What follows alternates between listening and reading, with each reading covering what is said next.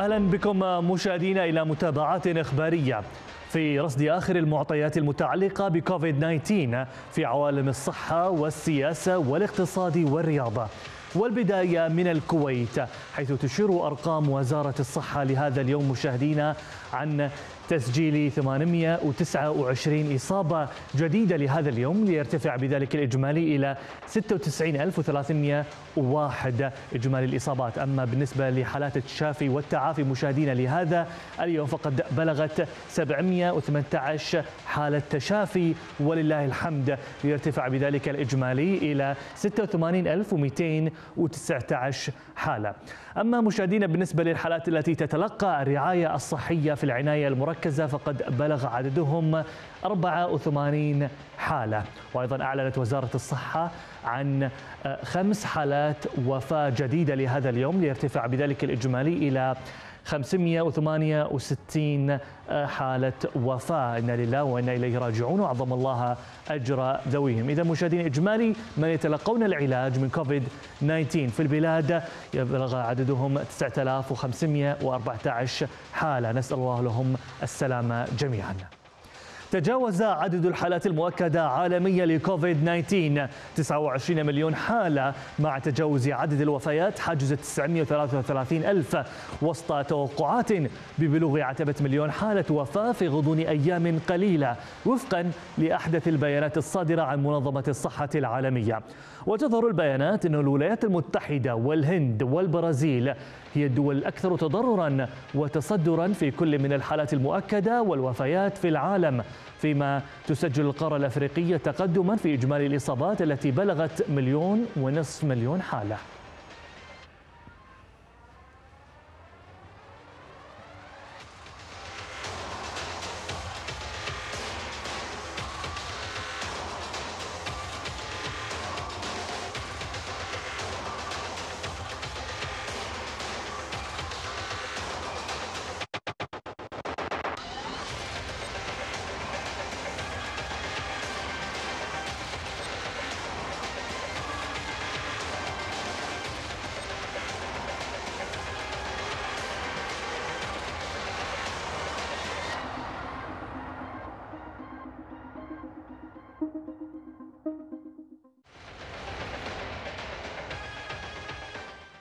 أعلنت المراكز الأمريكية لمكافحة الأمراض والوقاية منها اليوم وصول إجمالي عدد حالات الإصابة بفيروس كورونا إلى أكثر من 6 ملايين و500 ألف حالة بارتفاع 35549 إصابة عن الإحصاء السابق مضيفة أن عدد الوفيات ارتفع إلى 510 حالات ليصل الإجمالي إلى 139705 حالات وفاة ولا تعكس أرقام المراكز الأمريكية بالضرورة عدد الحالات التي تعلنها كل ولاية على حدة. وإلى آخر تطورات كوفيد 19 في الأردن حيث قررت الحكومة الأردنية إغلاق المدارس والمساجد والمطاعم والمقاهي والأسواق الشعبية لمدة أسبوعين اعتبارا من يوم الخميس المقبل بعد تسجيل أرقام قياسية بالإصابات. وبحسب السلطات الأردنية فإن هذه القرارات هدفها حماية المواطنين والحفاظ على سلامتهم والحد من انتشار العدوى وذلك في ضوء ارتفاع الإصابات لمستويات غير مسبوقة. مسبوقة هذا وسجل الأردن حصيلة يومية قياسية للإصابات بلغت 214 إصابة بعدما كان يسجل أعدادا قليلة جدا قبل شهر واحد فقط. قالت وزارة الصحة المصرية اليوم أنها سجلت 168 إصابة جديدة بفيروس كورونا و13 حالة وفاة وذلك مقابل 153 إصابة و21 وفاة مقارنة بيوم أمس. وقال المتحدث باسم الوزارة خالد مجاهد في بيان إجمالي العدد الذي تم تسجيله في مصر بفيروس كورونا حتى اليوم هو أكثر من 100 ألف حالة من ضمنهم 84969 حالة تم شفاؤها و5661 حالة وفاة.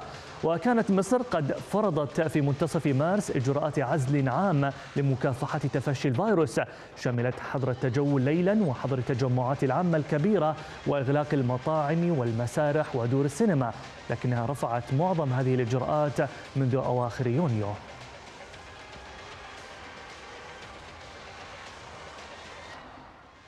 قالت اللجنة الوطنية للصحة في الصين أن البر الرئيسي سجل ثماني حالات إصابة جديدة بفيروس كورونا نزولا من عشر حالات منذ يوم الأمس. وأضافت اللجنة أن كل الحالات الجديدة لقادمين من الخارج ولم يتم تسجيل حالات وفاة جديدة. وسجلت الصين تسع حالات إصابة جديدة لم تظهر عليها أعراض مقابل 39 في اليوم السابق. وبلغ العدد الإجمالي لحالات الإصابة المؤكدة بكوفيد 19 في الصين 85200 وحالتين في حين ظل عدد الوفيات عند 4634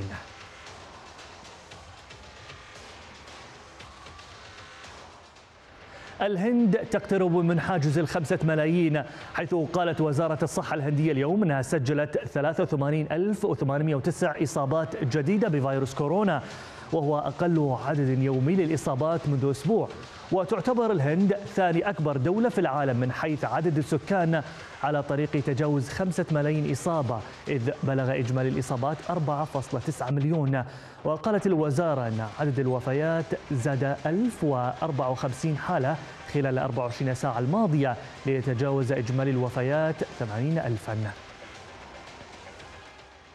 أظهرت بيانات معهد روبرت كوخ للأمراض المعدية أن عدد حالات الإصابة المؤكدة بفيروس كورونا في ألمانيا زاد 1407 إصابات ليصل الإجمالي إلى أكثر من 261 ألف. وأظهرت البيانات إلى ارتفاع عدد حالات الوفاة إلى 9362 بعد تسجيل 12 حالة وفاة جديدة. وزارة الصحة البرازيلية قالت إن البلاد رصدت 15155 إصابة جديدة بفيروس كورونا خلال 24 ساعة الماضية. ليصل إجمالي الإصابات إلى أكثر من 4 ملايين و300 ألف وزاد عدد الوفيات إلى 381 حالة. ليصل الإجمالي إلى 131625 أعلن ممثل لشركة أسترازينيكا في البرازيل استئناف التجارب السريرية للقاحها المضاد لفيروس كورونا. الذي تطوره الشركة بالتعاون مع جامعة إكسفورد بعد حصول هيئة تنظيم الشؤون الصحية في البلاد على تأكيد باستئناف نظيرتها البريطانية للتجارب. وقالت جامعة ساو باولو الاتحادية التي تجري التجارب في بيان إنها أعطت اللقاح إلى 4600 من أصل 5000 متطوع في البرازيل دون أن يبلغ أي منهم عن أي مشكلات صحية خطيرة. وشارك في التجارب متطوعون من ساو باولو وريو دي جانيرو وسلفادور في ولاية باهية الشمالية الشرقية. ستجري مدينة رويلي في مقاطعة يونان بجنوب غرب الصين اختبارات مكثفة لجميع سكانها بعد وصول حالتين مؤكدتين من حالات الإصابة بفيروس كوفيد 19 من دولة ميانمار المجاورة لها. وأفادت لجنة الصحة بالمقاطعة أن مقاطعة يونان أبلغت عن حالتين وفيدتين من حالات الإصابة بفيروس كوفيد 19 كلا المريضين من مواطني ميانمار الذين دخلوا الصين عبر مدينة رويلي الحدودية وتم تشخيص أحدهم سابقا على أنه حالة بدون أعراض. وقررت المدينة أن تطلب من جميع السكان البقاء في منازلهم لمدة أسبوع من الحجر الصحي. وستجرى تدريجيا اختبارات الحمض النووي في المدينة بأكملها.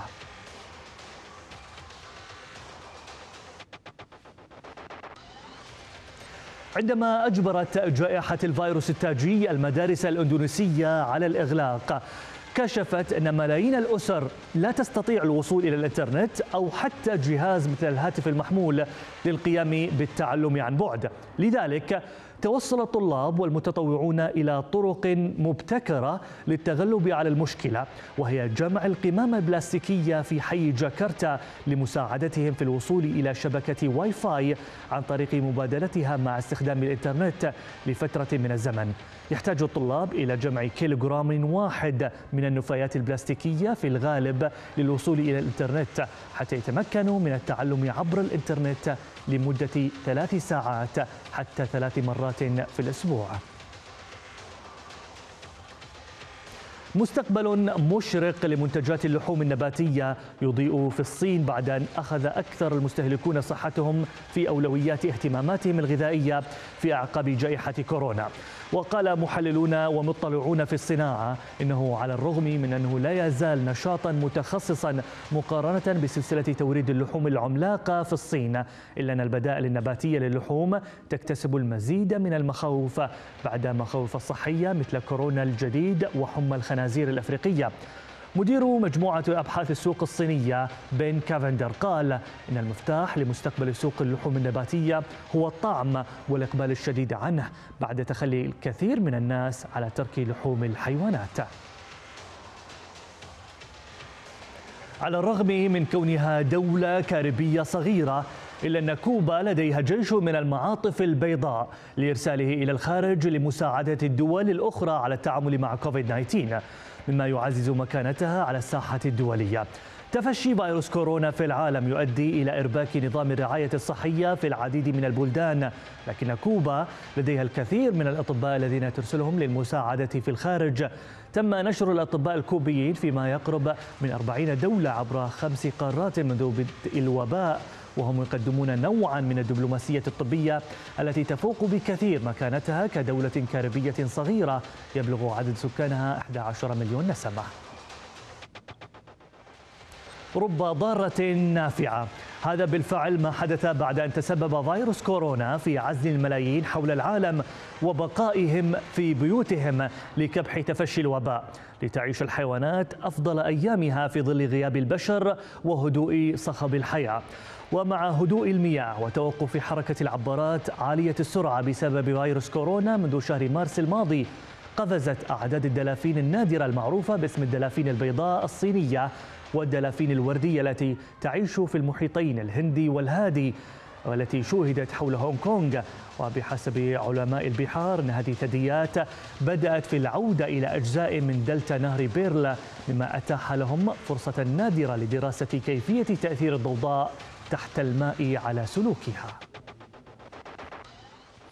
على مر التاريخ عرفت البشرية العديد من الأوبئة الفتاكة. من هنا يتحتم علينا الاهتمام والالتزام بالاشتراطات الصحية للتعايش مع هذا الوباء والسيطرة على انتشاره قدر الإمكان بإذن الله. دمتم بصحة وعافية وإلى اللقاء.